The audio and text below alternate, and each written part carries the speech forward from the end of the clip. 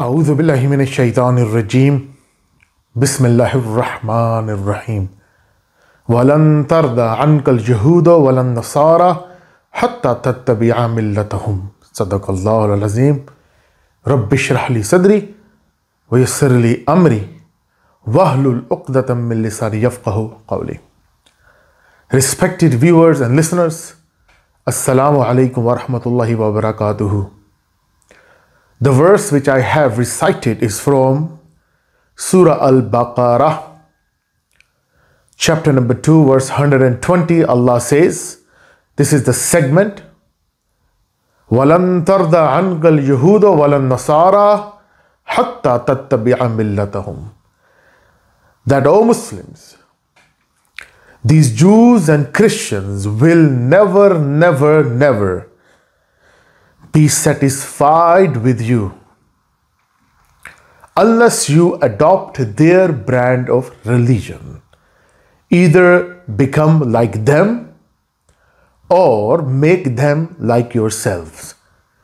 There is no middle hope, no serenity, no peace. It will be always deception. There are Muslims, these Jews will never, never, never be satisfied with you unless you adopt their brand of religion. This verdict has been given in the Holy Quran for 1400 years ago. And the one who is giving is the creator of the heavens and the earth. Allah, the only true God telling the nature of his creation that these particular people will never, never, will never satisfy with you. No matter what you do with them, what peace treaties you make, it will be considered as the pretext or a lie. You see a trickster bamboozles.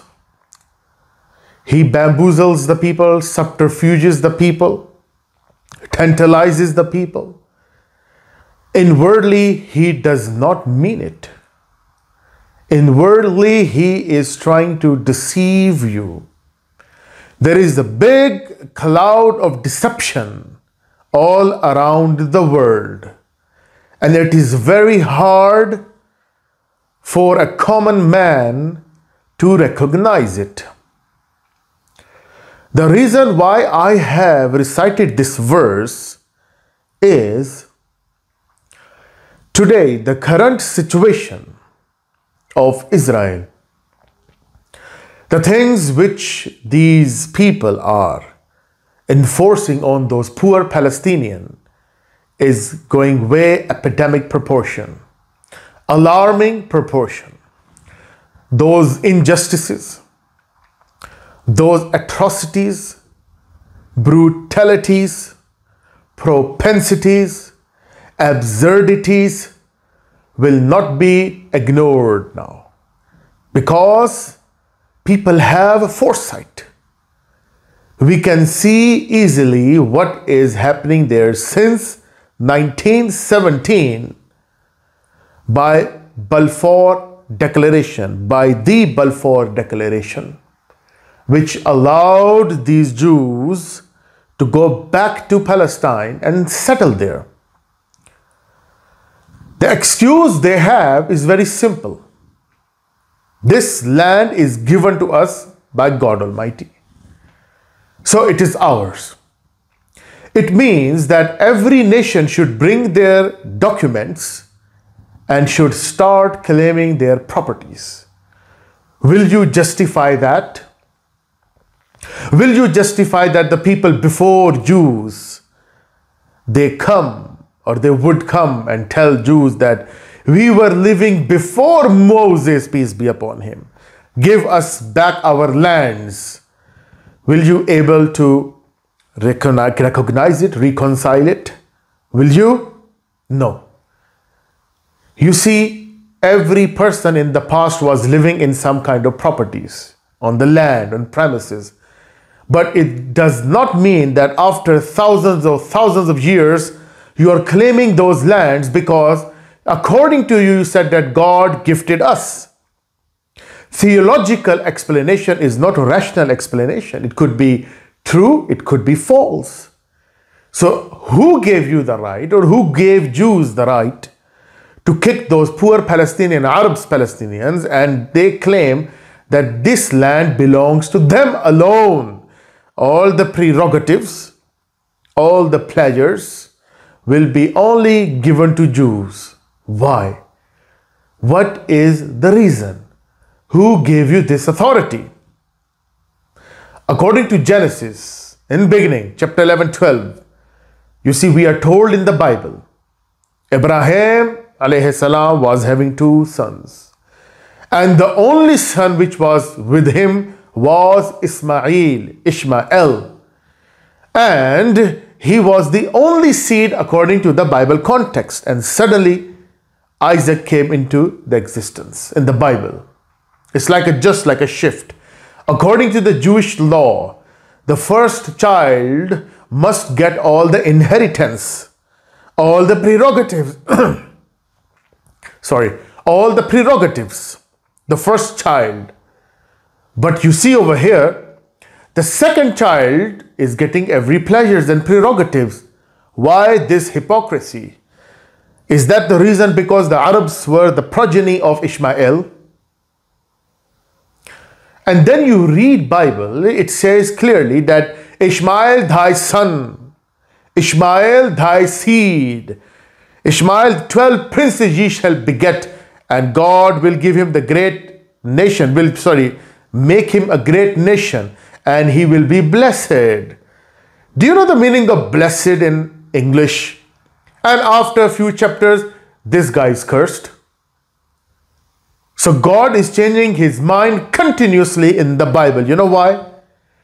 Because of the Jews. Jews wrote this book with their own hands. And then they say this is from Allah so they can mint some, you know, benefits out of it. Racial creed.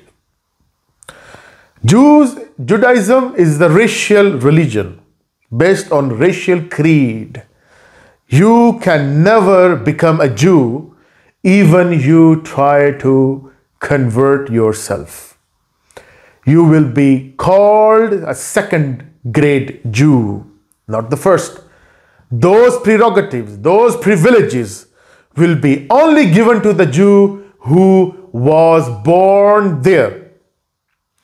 In Jewish family, Ashkenazi or whatsoever, you want to make and fit your Jewish race to the race of David, peace be upon him. Congratulations, it is your privilege. But no one can become a real Jew unless he is born into that religion. We are the children of God, we are forgiven. You see, Jews are living in a big haze, dream. And they know it. Armstrong magazine 1920, sorry, 1990s. We need another Pearl Harbor to fulfill our final goal, the goal of Armageddon, the book of Revelation, to make the whole paradigm shift to the west, to the east, and then make some initiatives to instigate Armageddon or Armageddon. And they did it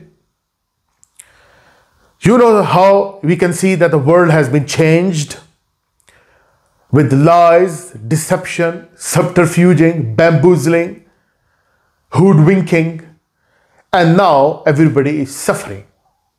Then you sugarcoat all the matters. Then you make commissions and then you proclaim yourself, oh, we were the one who did it. I know you what point I am making, referring here. People know and the whole world got rid of it, killing innocent people, and at the end enjoying aristocracy.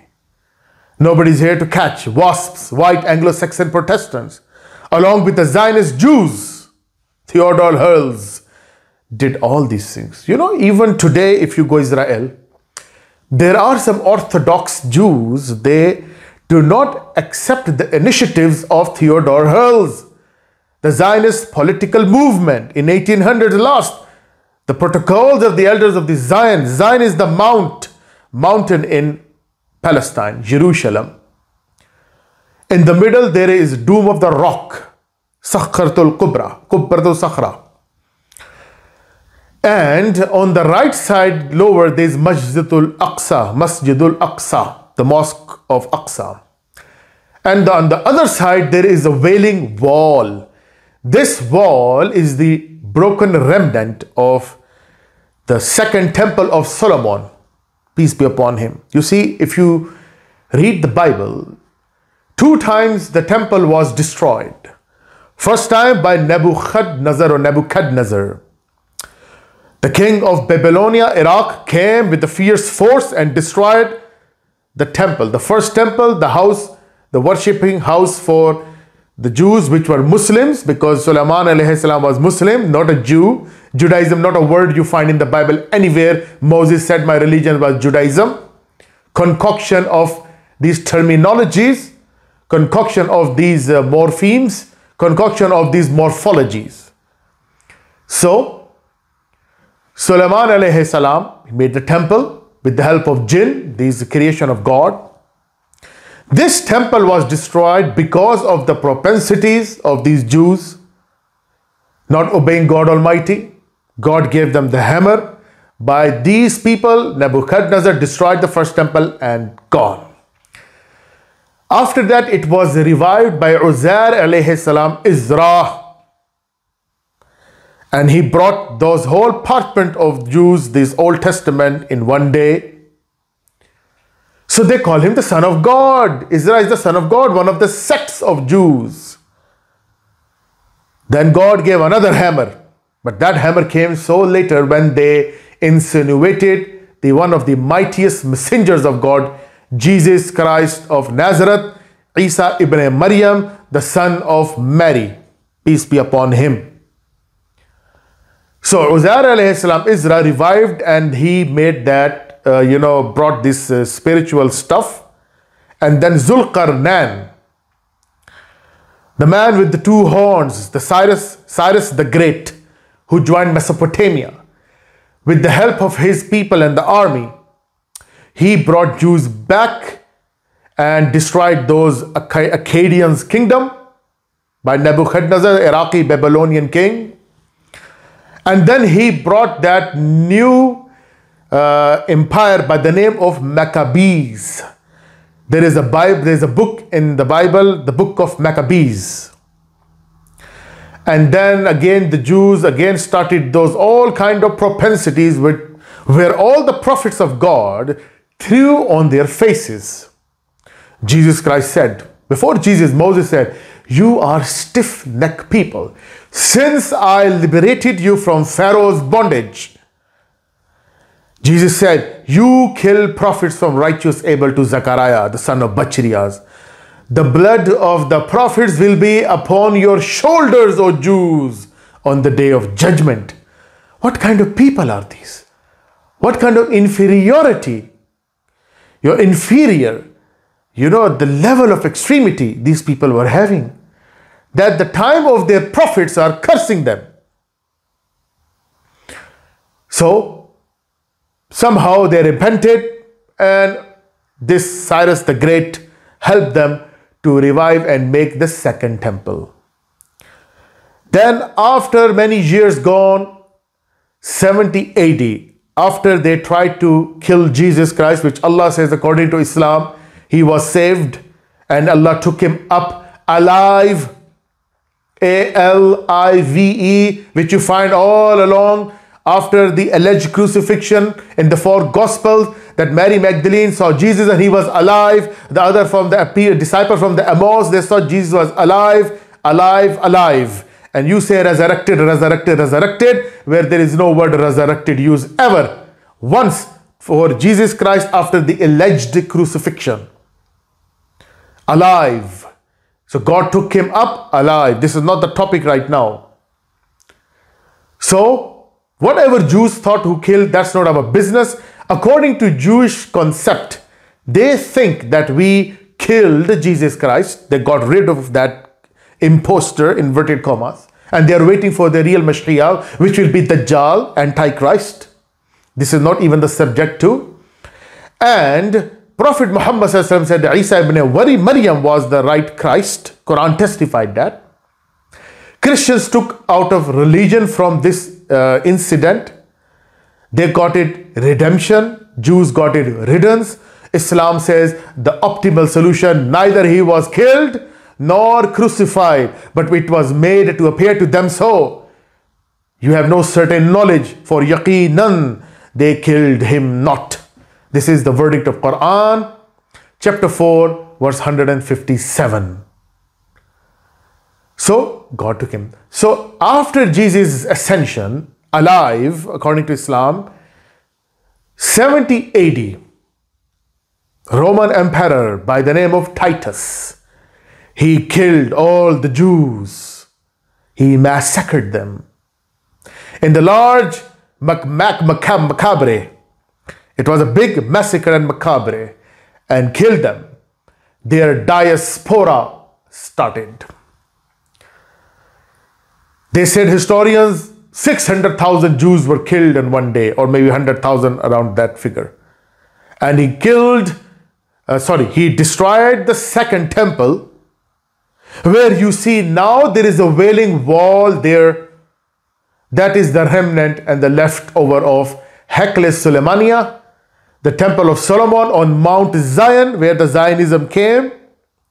And then in the middle, Prophet Muhammad came 600 years. He did Mi'raj, the heavenly ascension. And that thing in the middle, Walid ibn Marwan, the one of the rulers of Bani Umayyah, he made doom on the top, doom of the rock, where Prophet ascended to heaven the night of Al Isra or Mi'raj, the heavenly journey. So this is the point here. That is why it is holy for us. And Masjid al-Aqsa was the masjid made by Solomon, which Jews can call them synagogues, whatever they want. Because Allah says in the Quran, you call churches or synagogue or masjid or mosques. If there is uh, the worshipping is in the right way, then all will be accepted. You don't need to say masjid, it's okay. But if you worship their donkey, monkey, pigs, then there is a problem. You worship God with true spirit, no body shape, size, and proportion or figments. So, Titus destroyed and killed many Jews, and they had to flee to different part of the world, and Muslims accepted. They came into Khyber, Medina, Arab Jews, Yemeni Jews, and rest of the Europe, Poland, Russia, on and on. This they call it diaspora. Before they did Exodus, after Pharaoh from Moses, then they got another migration, they call it diaspora, where they were living in ghettos. They were not having anything, slums in the poor areas, poor parts, the life of misery. And they did it, they suffered. Every Easter, these Christians killed them, burned them, on, put them on the stakes, burned their books, and they said, Christ killers. These people kill our God, inverted commas and Muslims gave them shelters.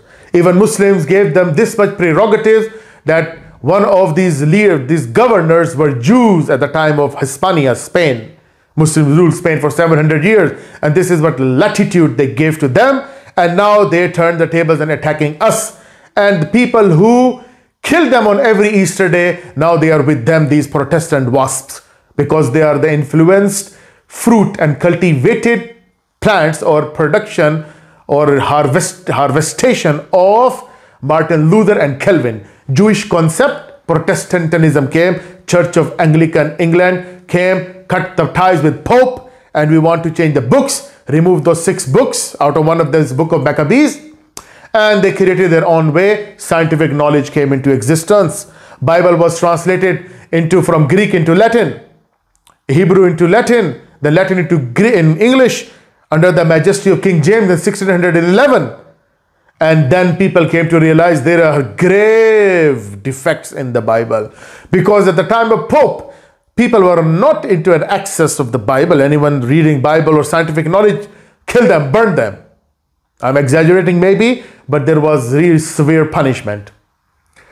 So these uh, scientific knowledge was also this. Had it not been for people to boycott with Pope, break break the taqlid, there wouldn't have been any scientific revolution or renaissance or reformation in Christendom or in Europe, I rather say. So Jews are came. Then after all these prolonged years, after that Jesus Christ, alayhi salam, Prophet Muhammad came into Arabia.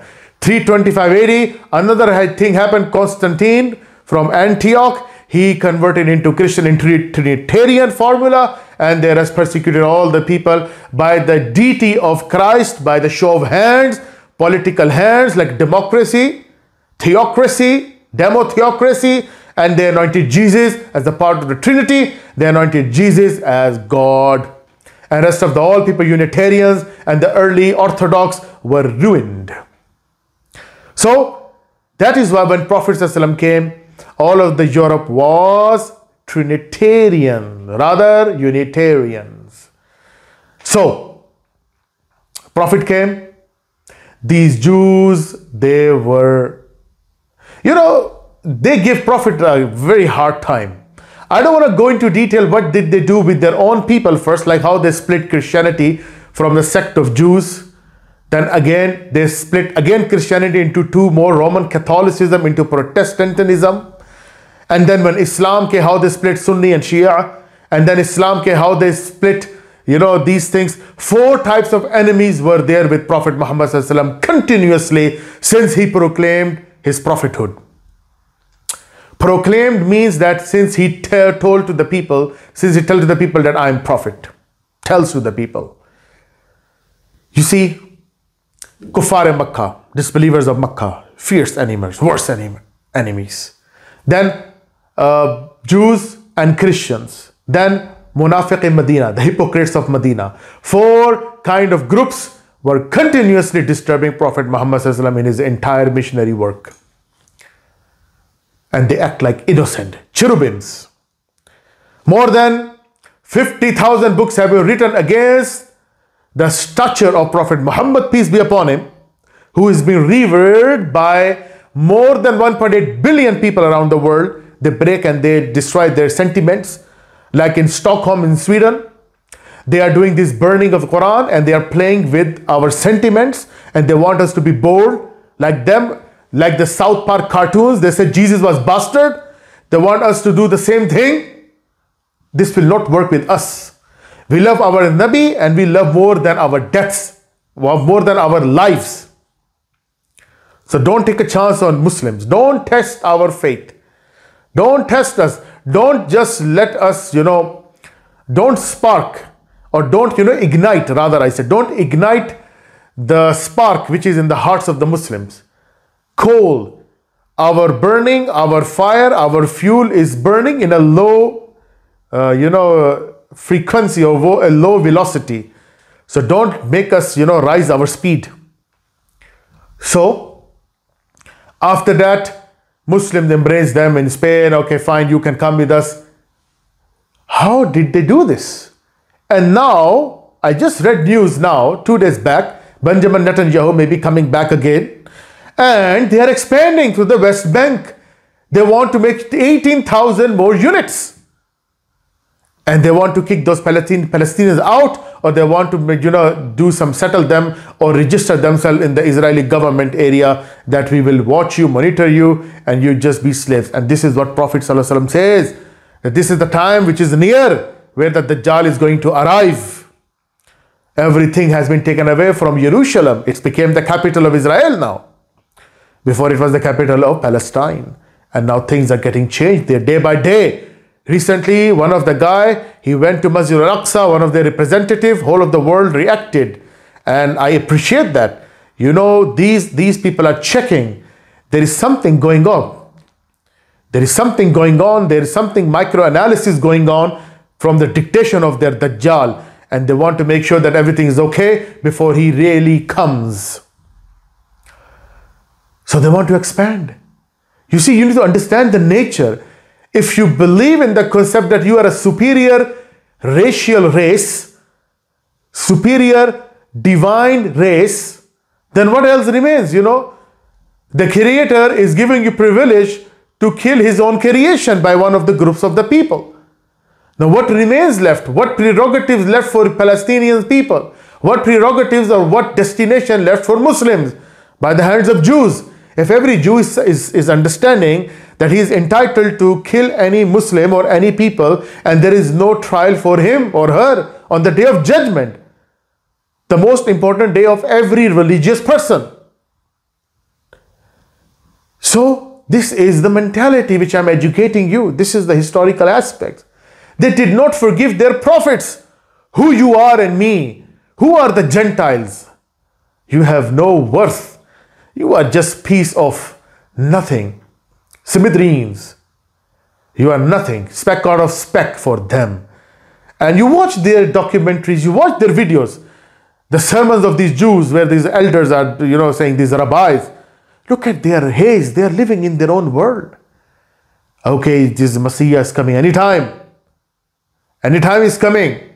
And they are preparing all this stuff as, as something like they are getting direction or direct, you know, commands from this Dajjal. I don't know from where.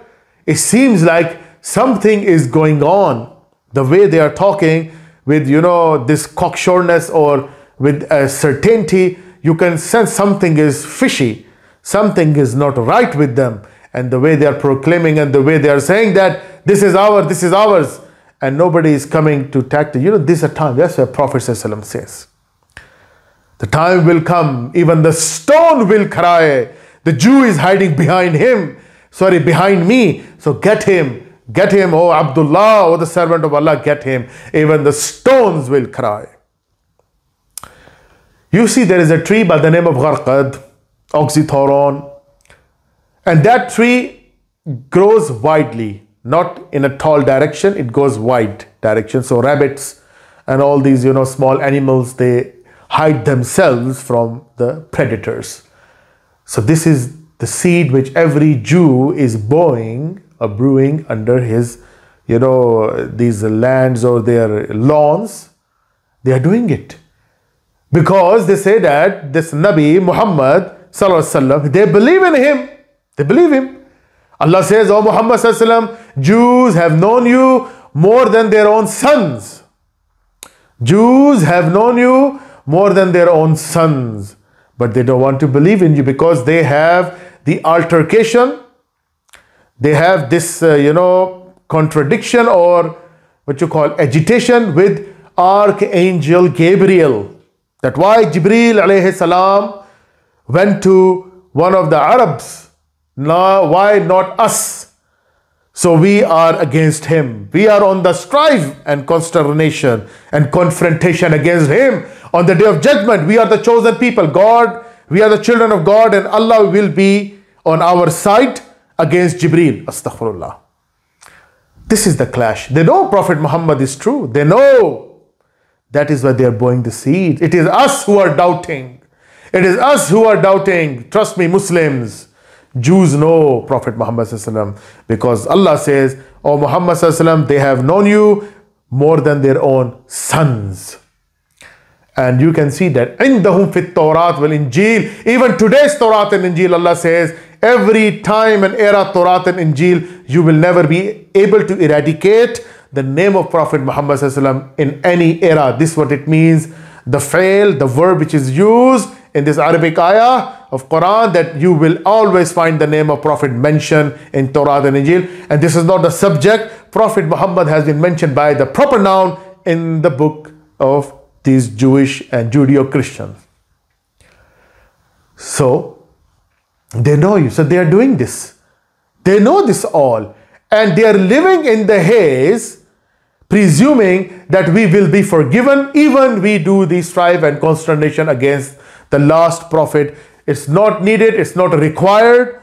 We are the chosen and the closed children of Allah, God, Jehovah, Jehovah, and nothing will happen to Elohim. Nothing will happen to us on day of the judgment. They're living in a false hope with more false hopes of Antichrist Dajjal. So this is what they are doing. They're living in this mentality. And you want to talk to them? You want to do, you know, conciliation?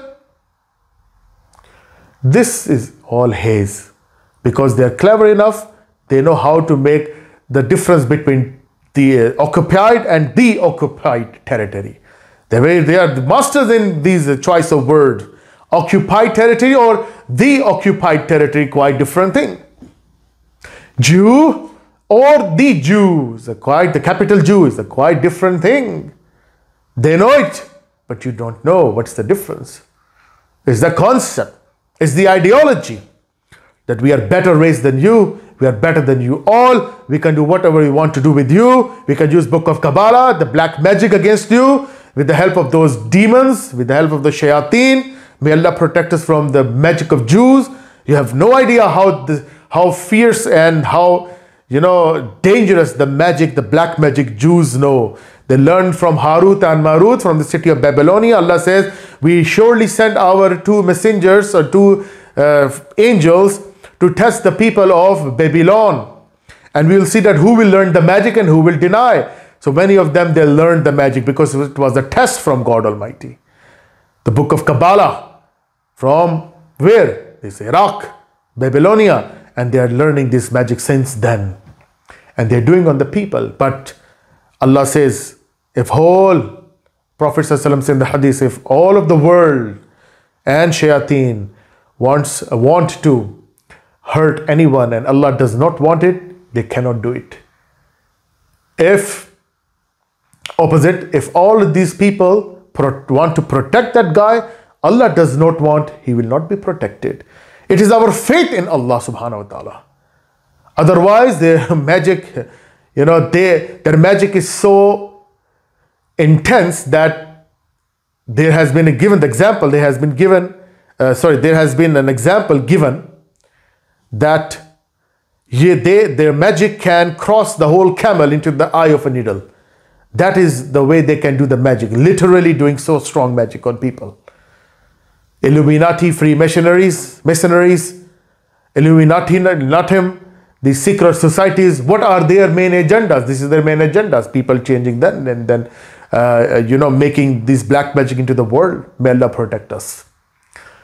So this was a message to you that these people, their mentality like that, and now they want to expand. And because they are just on the brink or on the verge, on the edge of the arrival of Masih ad-Dajjal and they want to do anything. They will not tolerate any kind of resentment. No resentment will be tolerated. All intimidacy just get terrified by us. Then, then because now they are in the stage, final stage of all this preparatory work they were doing, now this is the time they have to eat the fruits. And if you try to become the hurdle, then you know what will happen to you. So they are just like uh, the man, you know, a person which just have one, you know, like blinkers, like the animals, one side, that is, that we are the sole supreme. You see, when this whole political movement was started, we can divide into three uh, eras. Started by in the beginning this colonialism. These colonies were made by French, Dutch, Italians, Germans, Canada. French says is ours. Huh? British they said America is ours. The, the other part is the French is ours. Italian says this is ours. Colonies. They made colonies. So once they made this, Australia was Holland colony before Hollands. People don't know this. So they made colonies, colonies. So they call it Britannica, Pax Britannica.